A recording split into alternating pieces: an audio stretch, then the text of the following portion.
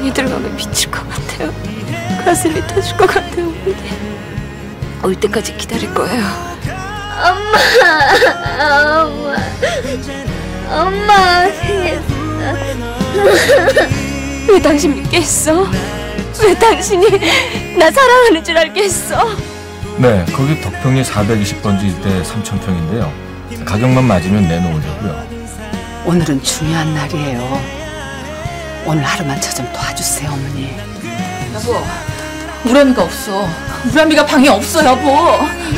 거기 지금 어딘데요? 우리 아들 어딨어요?